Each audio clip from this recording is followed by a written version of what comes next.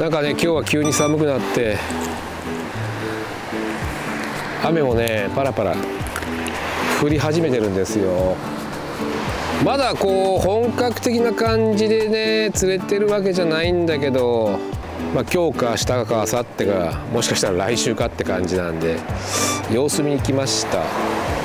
なんかこう情報があってきたというよりもぼちぼちかなって感じで来てるんでどうなるか分かりませんけどやってます。それでは行きましょう。よろしくお願いします。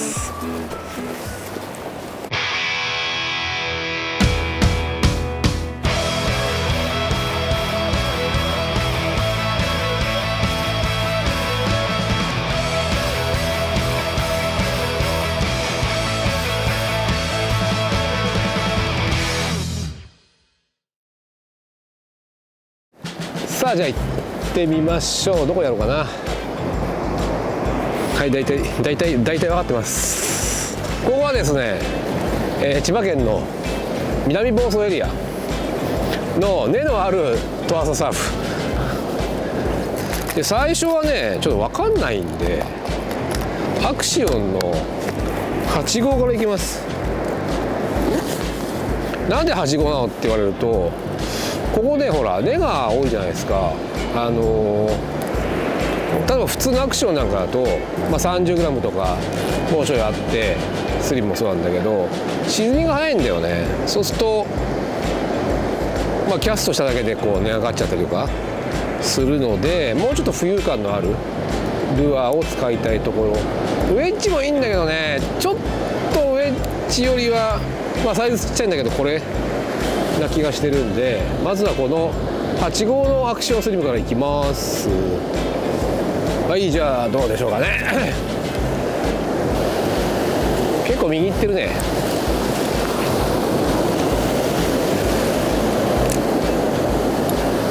いやー110番の撮影も久しぶりだよも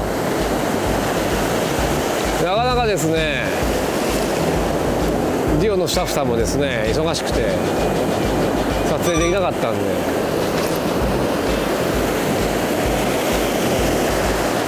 ここはもう根がバラバラに入ってるんでルアーも着底させません。ルアー着底させると当然値上がりしちゃうんでもう投げたら今これアクションスイムの8号なんだけど着水してちょっとまあルアーが何陣段ぐらいでもう巻いてきます。基本巻いてきます、まあ、アクション入れてもいいんだけどまずはただ巻き。だけで探ってみます。うんその見た目の流れ。そして水の色。で地形。地形と流れがあれば基本いいんですよ。で今度その先にあるのはあの流れの安定度。流れが安定してふらふら右行ったり左行ったりせずに同じところがずっと出てる。であるいはそのしっかり掘れてる。沖までこう伸びてる。その流れが。そういうのがあれば一番いいんだけど流れと地形はできてんだけど今見てるのはやっぱり波が入ってきて流れが一時的に潰れちゃったりとか右行っちゃったりとか左行っちゃったりとかまあ安定しないんだよね。だから一見パッと見てああそこ流れがあるよねって思って行ってみて投げてみて5分10分ってあれ？右行っちゃって左行っちゃってこれやっぱ安定しないからやっぱダメだなと。だパッと見いいところいっぱいあるんだけどやってみるとうんそうでもなかったみたい。なだからこんなに移動が多くなっちゃうんだけど。で流れはもう地形に依存するんでね。か言うんだけど地形があっての流れなんで流れ単体に発生するところがないんで。な黒潮とかそういうのはもっと全然違う地球の自転とか引力とかもうわけのわかんない世界になってくんで俺らには分かりませんけどそのことを大学教授のあのすごい先生に聞いたらそれはね地球の自転とコリオリ効果だよとか言われて何のことか全く分かりませんでしたここ？やってみようかちょっと。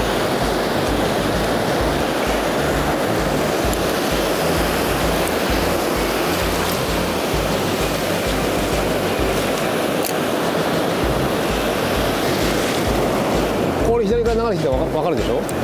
で僕の前から僕の右に向かって流れが起きててでしょ？ここで粘ってるからもう最後あと1時間ぐらい。ワンチャンあるんじゃないのかな？ここだったらウェッジ使えるか。ウェッジ使ってみよう。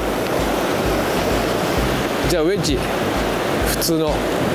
これいきます。9号いきます。はい。スタート30分ぐらい頑張ります。まあこんな感じが続いてほしいな流れとしてはもう古いなえー、色変えます。まあ暗くなってきてるんでもっと派手なカラーにしましょうかットオレンジ。わあなんかどんどん暗くなってきてるね。そうこれぐらいの感じでずっとね流れてくれるとすんげえいいんだけど。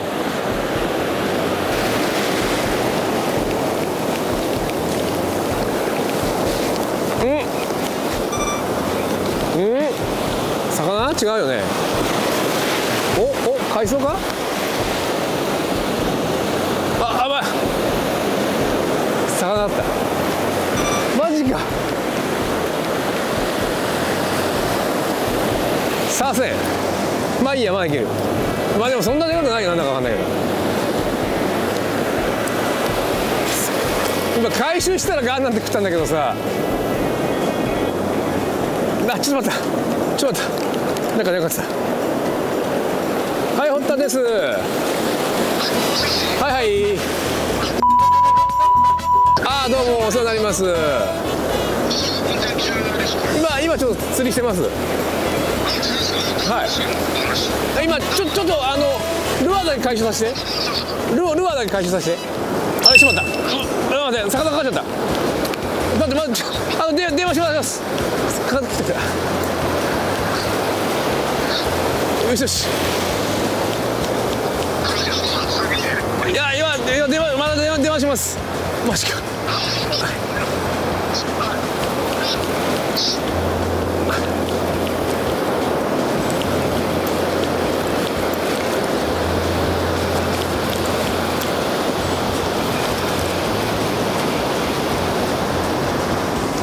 可愛いけど釣れたちょっとなんか電話電話かかって回収しようってかかって。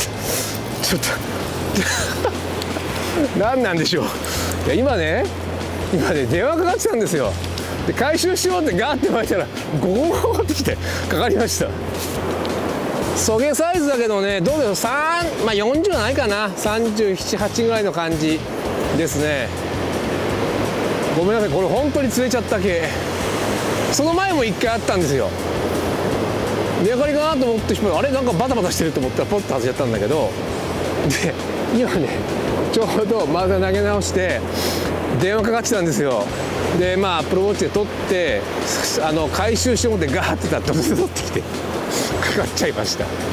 まあでもこのウェッジの95このカラーが効いたんじゃないですか。よかった。あら。えい。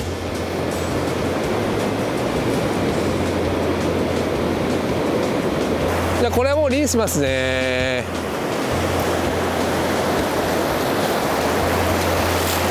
はいありがとうえい。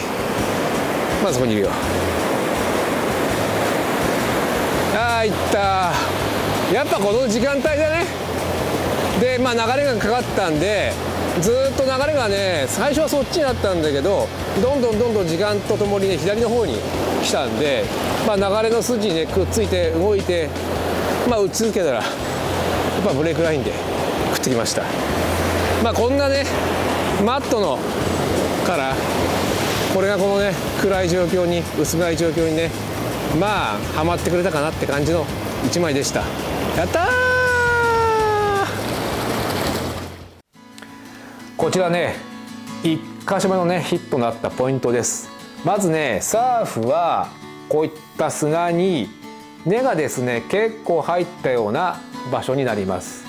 でヒット自体はね、まあ、正直このね電話がかかってきて、えー、まあハプニング的な感じで、えー、まあ釣れたんですけども狙ったポイントこう見てください。まずねここちょっとねここにね水がね出てます。ちっちゃい川です。でここのね白い部分。ねこの波の部分ですね。あとここですよね。白い部分。ここで両方とも浅いです。浅いですね。でここちょうど川の前からねこっち側。こういうふうにですね少しね波のない部分があるんですけどここにですねこちらからこちらに向かって流れがですね出てます。で僕はこの流れをねずっと切りながら欄干して全体をですね狙っていってこのちょうど本流筋ですね一番深くなって正面沖にね出てるこのポイントこのポイントにですねウェッジがですね差し掛かった時にヒットしました。ここやっぱり浅いところと深いところのちょうど境目ですよね。こういったポイントはヒラメがつきやすいので是非狙ってみてください。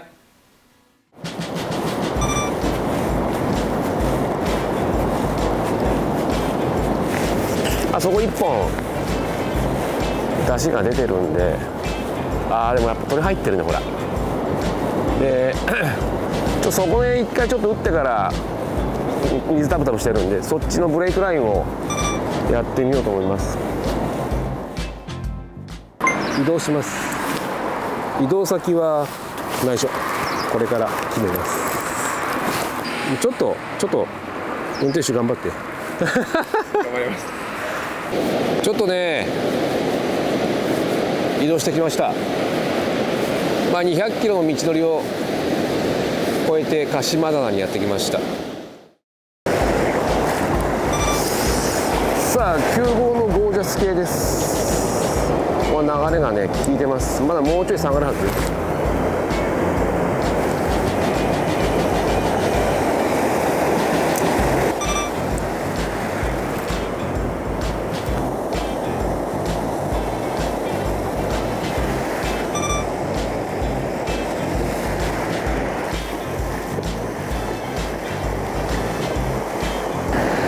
もしもし。おはようございます。まあどうそっち？おおああ。ああ了解了解了解。とりあえず行くよじゃあ。はいはい。はい。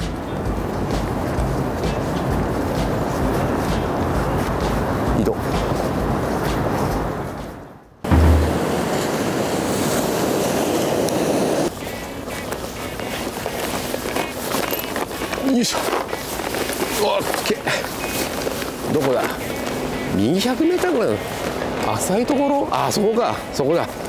そこだ。Z の36してみましょうか。のスパークルキスいきましょ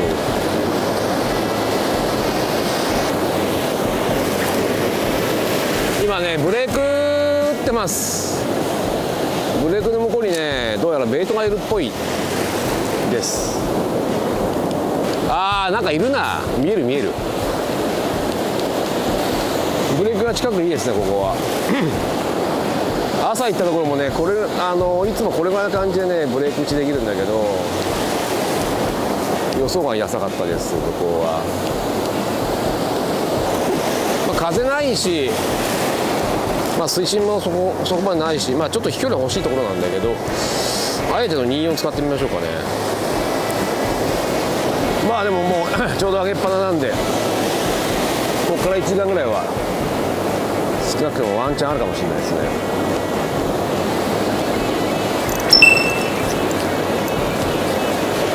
なんて言ったら来たよ。なんかわかんないよ。なんかわかんないよ。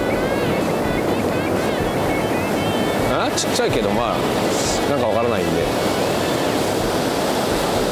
可愛いサイズの何かです。何でしょう？フグとかそういうやつ？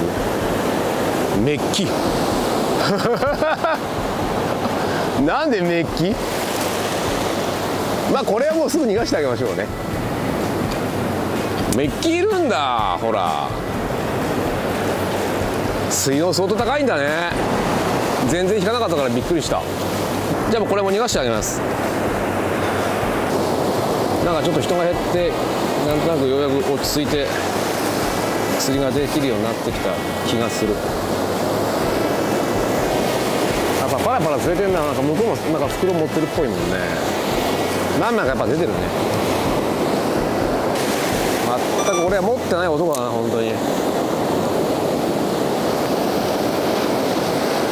し。よし来た。食ったよ。よし食った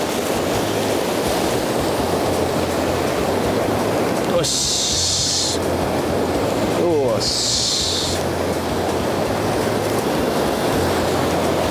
外れんなよもう外れんなよ頼むから外れないでくださいもうそこに見えてるヒラメですよ。やべやべそっちそっち。外れんだ外れんだおほよ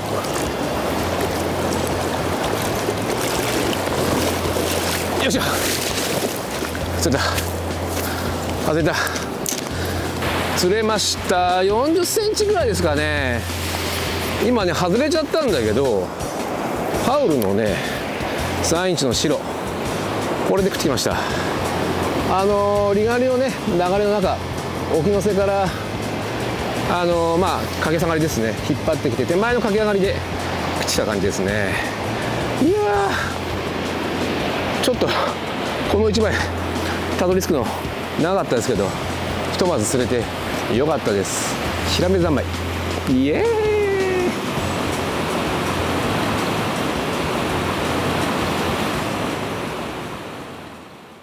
ここね2枚目のねヒラメが釣れた場所なんですけども砂のねサーフです。何もありません。砂がありません。でここね白泡いっぱい広がってますよね。ここが浅いとこです。でここがですね何もないので深くなって、えー、流れがあります。僕はねこのちょうどこうさすがですね出っ張ってへこんで深くなって流れがあるとこですね。ここここに立ってこのちょうどね真沖これね分かりづらいんですけども少しねこの辺もね浅くなってんですよね。でこの浅くなったところに向かって沖の瀬ですね向かって、えー、ハウルの3インチ引っ張ってきたところ手前のねこの駆け上がりでヒットしました。でねこのポイントってもう浅いところと深いところいっぱいあるので狙い目がいっぱいあります。まあこの時ですね何人か他にもね釣り人さんがいらっしゃったんで僕はここ入ったんですけどもやっぱりねこのさすがね伸びたこの先端の部分ですね。ここはブレイクラインを直接狙えるのでここが一つポイントになります。下げてくればこの浅場も狙えるかもしれませんね。あとはこのですねちょうど深くなってるところ。釣り人さんいましたけどもちょうどこのねこの深場ですね深みですね。離岸流ですよね、えー、ここここをねどこでちょうどこの角とかこの角ですね。あたりも狙い目になります。あとはちょうどここねさっき言ったこのサスですね。ちょうど出てますんでこのサスのこのね角エッジですね。ここもいいですし見づらいんですけどもここね横に馬の背、えー、っと沖の瀬が走ってます。この沖の瀬のかけ下がりですね。まあ僕そこでね釣ったんですけどもここを全体的にポイントになります。あのー、まあ浅いところと深いところこれのね境目があったら是非ですねルアー通してみてください。そこに流れかかれば釣れる確率はかなり大きくなります。これはもう離してあげます。もうここの辺に行きますよ。じゃあこれ離します。ちょっとねこうやっておっと水にね入れてあげてどう？どう？映ってるかな？いいかな？じゃあこれで今離すんで水の中で追っかけてってください。はい。